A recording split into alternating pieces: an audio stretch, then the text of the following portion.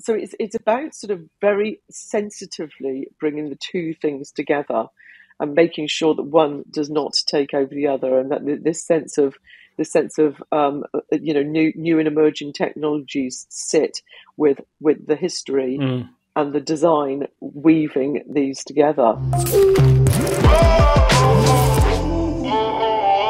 A lot of the brands you work with are are old to say the least. I mean, you, you've done like centenary journeys and things like that. How do you take, you know, something like the Royal British Legion, um, and then now you're doing this, you know, high tech uh, projection mapping. It's uh, you know, like how do you how do you sort of go about marrying such an old brand with such a new yeah. sort of experience for people. No, I think you're absolutely right. The Royal British Legion was 100 years old last year, and um, you know, for the 100 years, they they rebranded, and uh, I think they look really modern and, and fantastic for uh, for something that's 100 years old and i think you know that very much fed so i mean the work we do with the bbc obviously they establish the sort of storytelling what they want to say and the, and the sort of bones at the framework of of the of the event. And and sort of we we come come in and sort of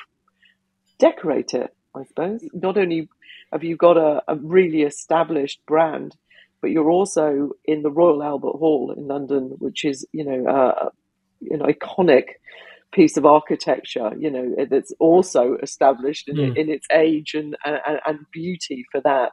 And then you're absolutely right. You come and smash in a load of new technology. I didn't know anything about this particular particular war, uh, the Battle of Ypres or actually the third Battle of Ypres, um, until I started looking into it. it. You know, it turned out to be an incredibly horrific battle.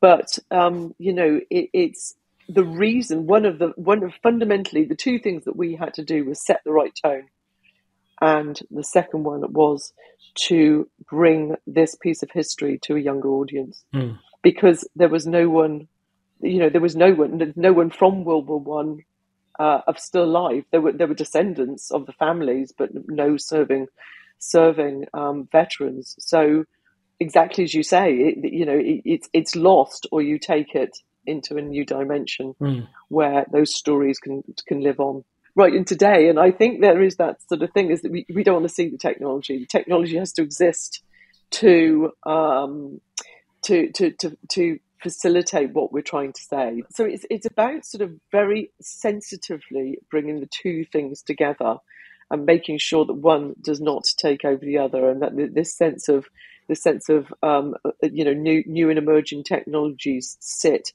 with with the history mm. and the design weaving these together.